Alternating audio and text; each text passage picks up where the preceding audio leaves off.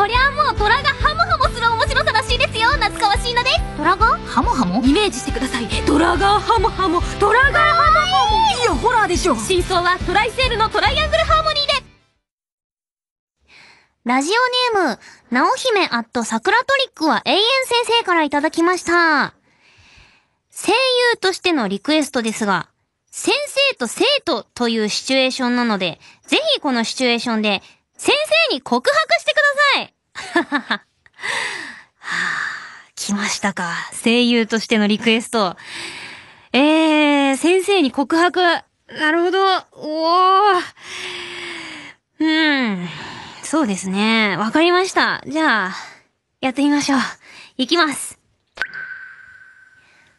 先生、あの、私というリトマス紙に、これからも一生、水を垂らしてくれませんか？え？あの リトマス紙だからね、番組が、あのーかけちゃったんだけど。直姫アット桜トリックは永遠先生、どうでしたか？えー、チャレンジしてみました。納得いただけたらいいな。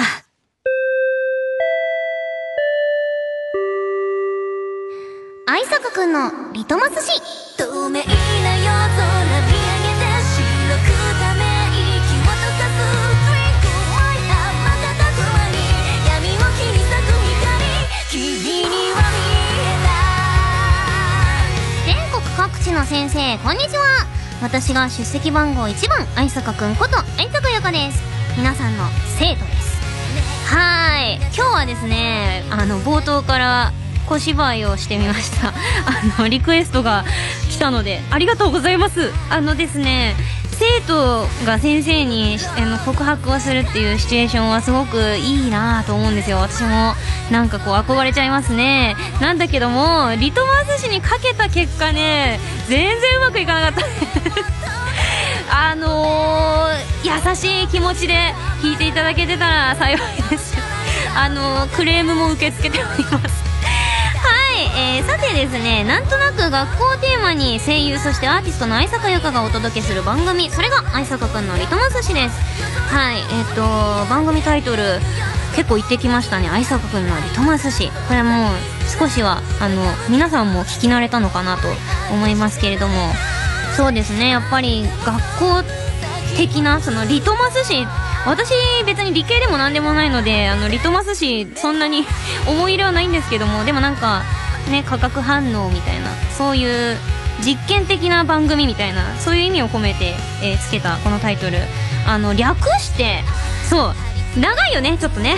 愛坂くんのリトマス紙。でも、うーんどう略せばいいのかなと思って私もあの番組のね放送時間にハッシュタグを勝手につけてつぶやいたりしたんですよ愛坂紙と書いて私は愛坂市って呼んでるんですけども愛坂市ってなんかさ愛坂市みたいじゃんたまにねあのあの五十嵐パイセンがねあの愛坂市って呼ぶ時もあるんですよ私のことを。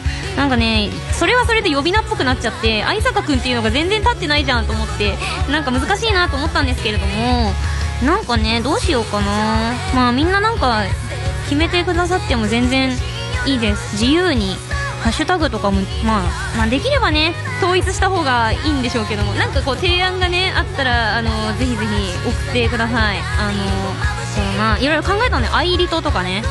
あのアイリトマス紙のマスを取っちゃうとね。とあのいろいろ問題があるんで。アイリトとか。うん。なんか提案があったらぜひぜひ先生からも、えーお願いしますね。それでは愛坂くんのリトマス紙いよいよ授業の始まりです。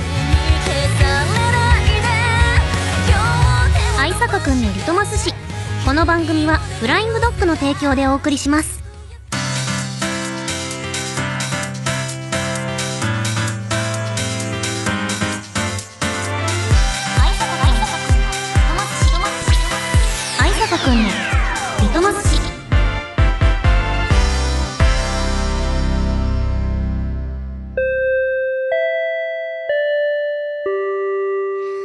番組前半1時間目は今日の課題です。はい、えー、今日の課題なんでしょうこちら好きなものの魅力をプレゼン来来ましたね、このコーナー。あのー、そうなんですよね。好きなもの、私、まあ、いろいろ好きなものはあるんですけども、なんかね、私の好きなものって、うーん、なんだろうなちょっとね、たまに、うん、受け取る側の、その、心持ちによっては、あ、そうなの？そ、そういうもんが好きなの？って思っていただいちゃうようなものとかがね、あの、あったりとかもするから、今まであんまりね、公言してこなかったこととかね、結構あるんですよ。なかなかね、難しいなと思って。まあ、なのでね、でも、一応せっかく私のラジオだから、プレゼンね、えー、プレゼンテーションの略、えー、聴衆に対して情報を提示し、理解納得を得る行為を示す。はい、えっと、まあそうですね。理解していただけるのかな？でもまあ、うーん、あ、そうなんだねぐらいの気持ちでね、聞いていただけたら嬉しいですね。まあ、そうですね。緊張すんな、このコーナー。はい。まあでもね、まだ番組始まって3回目なので、もっともっと知っていただけたら嬉しいなと思うので、上手にプレゼンできるかな頑張ります。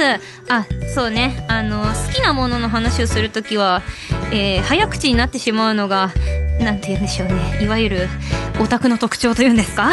えー、なので、ちょっとそこはね、気をつけてくださいって台本に書いてありますので えー、ゆっくりわかりやすく、そう、これ目標でもありますからね、前回からの。はい、えー、プレゼンしていこうと思います。では、好きなものの魅力をプレゼン。まず一つ目は、青はい、えー、青、青なんですけども、一口に青と言いましても、私、あの、草冠に蔵と書いて、青。っていう字あるじゃないですか。あれはね、あの字は私本当に好きなんですよね。なんか、なんでだろう。うん、なんかこう、早急とか、なんか、うっそうとしたとかそういう時に使われる字じゃないですか。なんかね、すごく単純に青とか書くよりも、私はなんか、爽やかな気持ちというか、いや、うっそうは違うな。うん、なんかこう、ひっそりとした感じもする印象を受ける、私は。なので、青が好きで、で、もともとそんなになんだろうな、こう、カラーとして青が好きっていう、あの、あれはなかったんですけども、なんとなく自分が決まった役柄が青をイメージしたキャラクターが多くてですね、なんか青の世界とか、あの、青い色の戦士とか、なんかそういうことが多くて、自然と愛坂イコール青みたいなイメージを皆さんになんかこう、つけていただいたような感じで、私もなんとなくこう、だんだん好きになってきた、そんな思い入れのある色なんですね。なので、普通に青と書くよりも、草冠に蔵と書いて、青が好きですね。はい。これがまあ、一つ目かな。うん。ちょっと最初はライトにね。はい。じゃあ、二つ目いきますか？はい。えー、二つ目。猫はい。えっとですね、私今、携帯のケースが猫なんですけど、猫がいっぱい書いてある、あのね、ブランド名を言うと、フランシュリッペっていうブランドの、あの、猫がたくさん書いてあるスマホケースを使っているんですけども、これをね、あの、ベッドカバーと枕カバーもそれにしてみたんですよ。そしたら、部屋がなんか、なんだろう、やっぱベッドって結構こう部屋の大半を占める、あの、アイテムなんだなというのをすごく実感したんですけど、猫だらけになっちゃって部屋が。私自身は猫アレルギーで猫飼えないんですけども、あの、すごい数の猫が家に何匹何匹いるんだろう。もはや、もうこのスマホケースを見ていただいてもわかる通り、あ、もう皆さんには見えないか。あの、すごい量の猫が書いてあるのをベッドカバーにしたらやばいことになっちゃって、これちょっとお友達部屋に呼べないなレベルの猫だらけ、猫屋敷に、えー、今やなっております。なので、あのー、猫をね、本当は飼いたいんですよ。だけども、あの、やっぱりアレルギーで鼻と目がぐじゅぐじゅになって、これじゃ仕事ができないなと思って、えー、泣く泣く諦めているので、せめてね、グッズだけでも猫だらけにしようかなっていう、そういう気持ちでやってみました。ちょっとね、多分、あの、人に、例えば戸田くんとかをお家に呼んだら気持ち悪いって言われるぐらいなんじゃないかと思うぐらい今猫だらけでございます。はい、えー、猫ちゃん大好きです。じゃあ、えー、三つ目。えー、皆さん、今日も私、メガネをかけておりますよ。えー、一応アピールしておきます。あのー、まあ、生徒なんでね。えー、メガネはですね、私もう方々で語っているので、なんともなんですけども、あのー、メガネの何が好きかって、まあもちろんね、その、なんでしょう、見た目というか、フォルムも好きなんですけれども、メガネを、うん、かけている人は、あの、まあ、視力が弱いっていうことじゃないですか。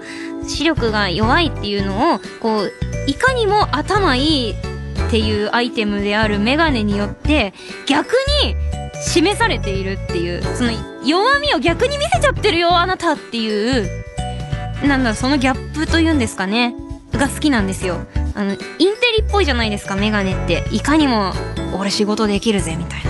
私できますけど何かみたいな、メガネが逆にその人の弱さを露呈しているっていう、そのギャップがたまらないんですよね。なんか、あのー、私自身が自分に自信がないから、そういう、なんだろうな、できるように見えるのに、実は、そういう弱さを持っているっていう人に対して、親近感が湧くというか、あの、安心して近づけるというか、視力ごときでって思うかもしれないですけど、でもなんかそうやって、あ、あなたも弱さを持っているんだね。私も弱いんだよ。だから弱者同士仲良くしようよ、みたいな。あの、そういう気持ちを持って、えー、メガネをかけている人には、ちょっとね、あの、心穏やかに接するっていう、すごく、うん、ひねくれてるようで、まあ単純な、そんな理由でメガネが好きですね。はい。えー、あと一つぐらいじゃあ紹介しますね。えー、次はこちら。原田千秋さん。はい、えー、原田千秋さんという方はですね、イラストレーターさんですかね。あの、自分の日常をですね、こう漫画に描いたりとかもしてるんですけれども、基本的にこう、自分のイラスト、えっ、ー、と、ツイッターとかで、なんかこう、あの、配信しつつも、あの、それがグッズ展開されてたりとか、こう、ビレッジヴァンガードとかにね、置いてあったりとか、えー、する、結構ね、あの、今、人気のイラストレーターさんなんですけれども、私この方の絵がすごく好きで、あの、何が好きかというと、例えばですね、そうだな。なんかね、こう、弱さを見せてくれるものがやっぱり好きなんだな、なんでも。うん、作品とかもそうだけれど、あの、例えばね、すごくね、原田さんのイラストは、あの、色がビビッドで、いろんな色使いを、あの、してて、なんかこうカラフルかつちょっと絵のテイストとしてはなんだろうな私はちょっと昭和感を覚えたり、え、するんですけれどもそんな中に一人は怖いとかねなんかそうやってセリフが書いてあったりするんですよ。うん頑張るね。でも一体誰が私のことを救ってくれるの？かね、そういうことが書いてあって、で、その女の子は、大体笑顔なんですよ。泣きながら笑顔なの。なんかね、その感じがすごく、胸にキューッときて、ああ、そうだよなって、なんかこう、なんだろう、自分の中で抱えてる、そういう気持ちって、なんかこう、人に伝える時とかもなんとなく笑顔を作っちゃうじゃないですか。なんかこう、自分の弱さをね、たくさん、もう、もう本当に泣きたい。もう私どうしたらいいかわかんってこう、泣きたいっていう気持ちを、でもなんとなく人前だから抑えて、いや、本当もうなんかね、大変だよね。なん、なんだかんだね、みたいな感じで、こう、ごまかしちゃうとこがあったりするじゃないですか。なんかそういう心境の、あの表現なのかわかんないんですけども、この笑いながら泣いてる絵がね、すごく胸に刺さるんですよね。そういうところが、なんか、胸をえぐる表現っていうのが私は、なんか好きですね、なんとなく。はい。えー、まあ私のこんな拙い言葉では多分あの全然伝わりきれてなくて、あ、そうだ、でもプレゼンしなきゃいけないんだった。すいません、なんか全然伝わんなかったよな。ごめん、あの、だけども、あの気になった方はちょっとあの調べてみたりとか、えしていただいて、あのあの、ぜひぜひそのギュッとくる感じを見ていただけたらなと思います。はい、えー、以上今日の課題は好きなものの魅力をプレゼンでした透明な夜空見上げて白くため息を溶かす Drink my heart 瞬く間に闇を切り裂く光君には見えな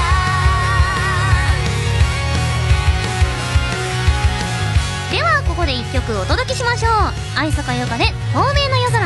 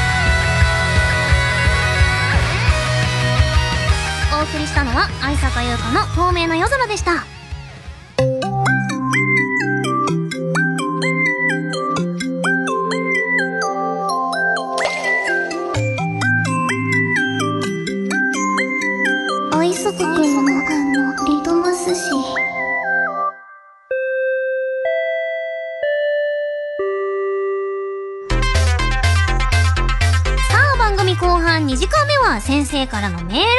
えー私にとって先生であるリスナーの皆様からいただいたメールを紹介しつつおしゃべりしていきます。というわけで、えー今日紹介するのは、愛坂くんへの質問ということでですね、えーまだまだ、私のことを知っていただく月間、えーまだ3回目なんでね、えーちょっと先生方からの質問に生徒らしく答える、しくってね、な、何なんぞやって、え聞いたら、とりあえず素直にと言われました。まあでも、私はもう嘘なんかつく気はさらさらございませんし、守るものもございません。何でも素直にもちろん答えたいなと思いますので、えーちょっとじゃあメール読んでみますか。はい、えー、埼玉県ラジオネーム、ほうすけ先生、ありがとうございます。愛坂くん、こんにちは。こんにちは。早速質問です。愛坂くんがもし学校の備品になるとしたら、どの備品になってみたいですか？備品なんかすごくマニアックな質問でいいですね。備品ね。なんだろうなでもなんか私、特に理系ではないんだけれども、なんか、理科の実験で使った実験道具とか、なんとなく好きなのかもしれない。例えばね、アルコールランプとか、あの、スチールウールとか、プレパラートとか、なんか特に理系でもないのに、すごいそういう単語が、なんとなく、なんか印象的というか、心に残ってるんだよな。だからなんか理系のもんになりたい。なんだろう、駒込ピペットになりたい。駒込ピペットなら、リトマス紙に垂らすときに、便利だしね。そう、それ。まさに、その、その重量ぐらいの水を垂らせるんじゃないかってね、駒込ピペットの大きさなら。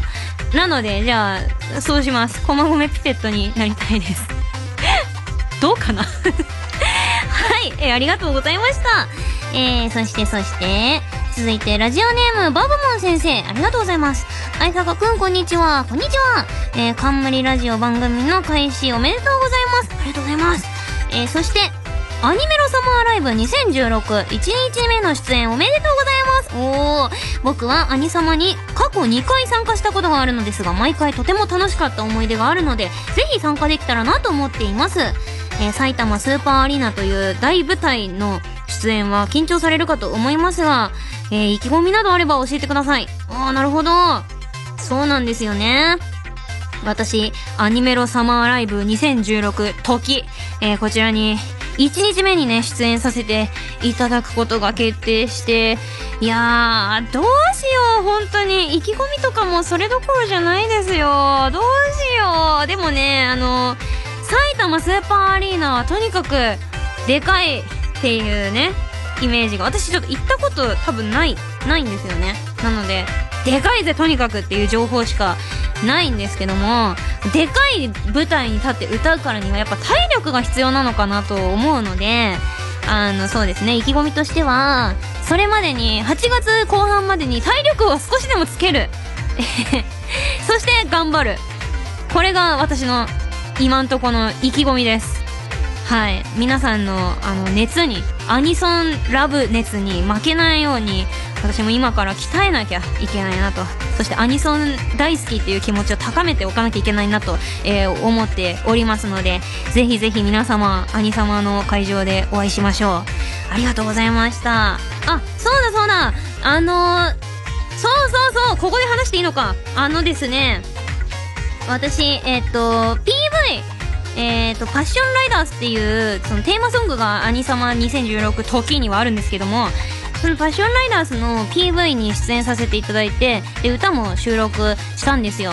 でね、それが、9MHz さんがね、提供してくださった曲っていうことで、こんなところでまさか、あの、あの9メガヘルツさんとコラボできるとはっていうね、すごく喜びましたし、あの収録で、斎藤プロデューサーいるじゃないですか。あの、かの有名な斎藤 P にね、ディレクションしていただいたんですけれども、もうなんか、そこで初めてお会いしたのに、愛坂くんって呼んでくださって、私のあだ名を知ってくださってたんですよ。愛坂くん全然、こう、楽しく歌ってくれればいいからねって言ってくださって、で、いざ歌ったら、すごくいいねと言ってくださって、なんかそうやってこう、緊張している私のね、心をね、すごく、あの、解いてくださって、優しく、あの、包み込んでくださった斎藤 P、本当にありがたいなと思って感謝しておりまして、なので、その感謝の気持ちをね、ぜひ、兄様2016時で、あの、表したいなと思います。はい。応援よろしくお願いしますね、先生たち。お願いしますよ。はい。続いて、ラジオネーム、ピューロ先生、ありがとうございます。えー、僕は番組タイトルの愛坂くんのリトマス紙を聞いて、えー、小学校時代の理科の実験でリトマス紙をいろいろな液体につけて、えー、色が変わるのを見るのが大好きだったのを思い出しました。愛坂くんは楽しみだったあるいは憂鬱だった授業はありますか？僕は運動神経がなかったので体育の授業が毎毎週憂鬱でした。あーわかる全然運動できないんだよな実は。まあ見てわかるかもしれないけど私運動音痴なんだよ本当に。だから体育はすごい嫌だった。でもプールは好きだったの。なんかね水が好きだねやっぱり。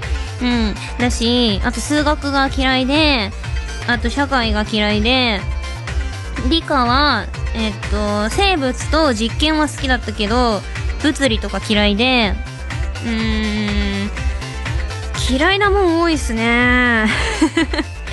なんか楽しみだったのがね本当に国語はね好きだったかな。うんあとはまあやっぱ音楽だね。音楽と国語ぐらいしか楽しみな授業が実はなかったな。図工とか好きだったけどね小学校の時はね。でもなかなかあのさほらなんだっけ糸の子ってあるじゃないですか。糸の子で指をザクーって切っちゃった思い出とか あって。あのほんとなんかね不注意なんだよね。注意力散漫なんですよ。だからね、そうやって共同作業が苦手だったな。そんな風に思い出しました、私も学生時代を。あ、今も学生だけどね、みんなの。みんなの生徒だからね。その設定は忘れないで。はい、ありがとうございます。はい、えー、先生方メールを送ってくださって本当にありがとうございました。以上、先生からのメールでした。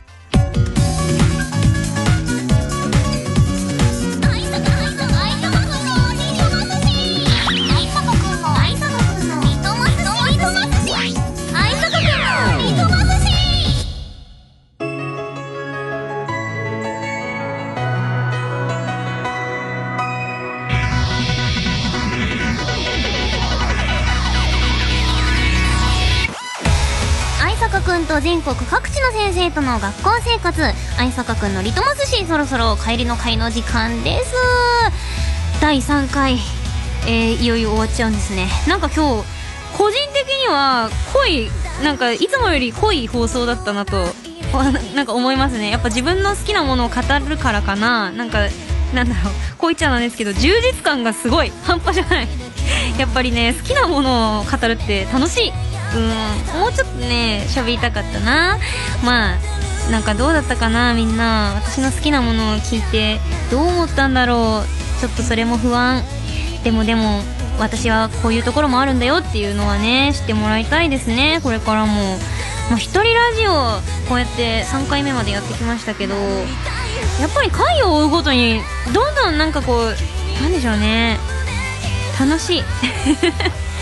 なんか単純にあの話すのが楽しいなっていうそういう気持ちになってきまして。なんとか来週も来れそうです。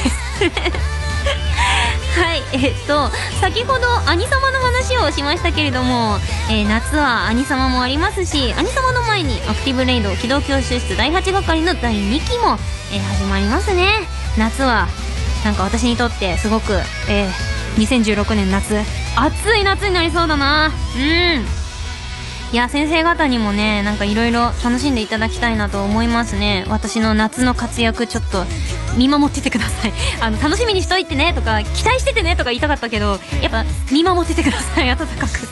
ぜひぜひお願いします。そしてそして先生お願いがあります。メール随時募集中です。アドレスはあいさかくんアットマーク JOQR.net あいさかくんアットマーク JOQR.net 愛坂くんのスペルは AISAKAKUN です。えー、幅広くゆるくいろんなメール受け付けておりますので詳しくは番組ホームページご覧くださいね。そしてホームページにはですね学級日誌という名の、まあ、放送後期的なねものが載っていたりとかあとは、えー、番組の再配信がございますのでちょっとね、まあ、16時というのもあってねなかなか、えー、お仕事頑張ってる先生方はあの再配信をですねぜひぜひ、えー、聞いていただきたいなと思っております。ああっという間ですね。あの来週も聞いてください。ぜひぜひ。そしてまたトレンド入りをさせようじゃないかみんな。あそうだ。略し方もね。あのまあ相坂市でもいいんですけども。思いついたらぜひ送ってくださいね。それでは先生さようなら。皆さんさようなら。相坂優香でした。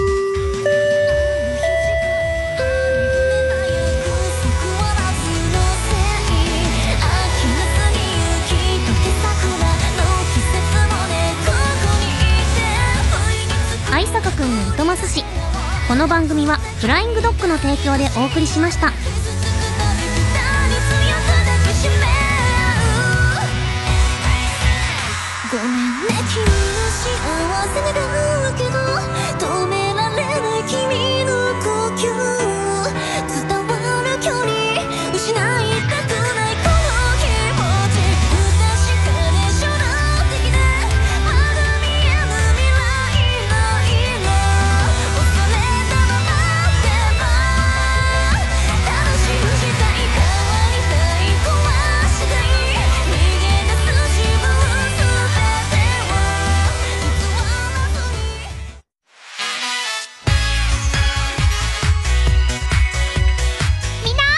みなみちゃんのラジオ聞いてるルビちゃんとさやさんは須田のラジオ聞いてる毎週聞いてるよ本当にじゃあどんなコーナーやってるか言ってみてあのね。大好きなだよねやってないおかしいな。はいどんなことしてたっけ？時間を気にせず話したりおこだったりツボを押されたり。あやってたやってた。超 A&G プラスにて毎週水曜深夜1時から放送中。須田のラジオ。みんな聞いてね。文化放送超 A&G プラスで水曜日の夕方5時から放送中の伊達ありさのマジアニラブ水曜日にお引越ししてさらにパワーアップしました。多分。本当にパワーアップしたかどうかは番組を聞いてチェックしてね。みんな絶対聞いてな。